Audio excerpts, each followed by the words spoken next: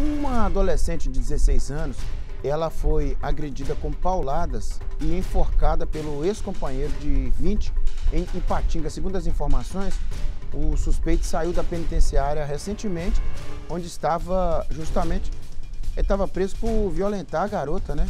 Meu Deus do céu. Ó, Gisele, pelo amor de Deus, gente. Você tem informação desse caso?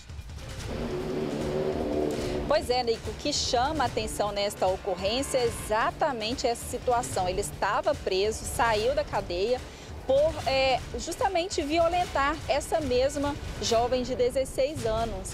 E a, na última segunda-feira ela contou que já havia sendo perseguida pelo ex, que estava sendo ameaçada por ele. Ele foi atrás dela e, e com um, um pedaço de madeira agrediu a pauladas e ainda enforcou o pescoço da menina. A jovem desmaiou.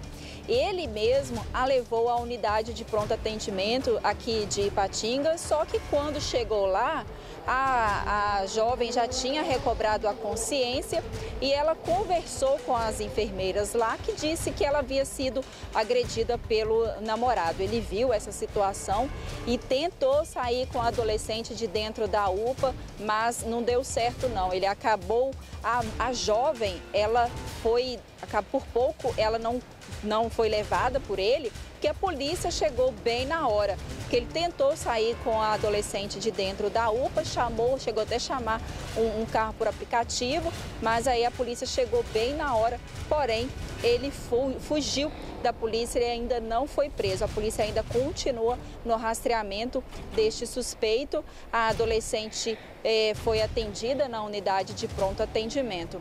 É uma situação lamentável, né, Nico? Lamentável e ela fica com esse pavor, né, de, de ter como alguém que, que sempre possa praticar o mal contra ela. Já praticou uma vez, estava preso em razão disso. Agora sai, pratica uma coisa ainda mais grave, né, inclusive. Agora está foragido.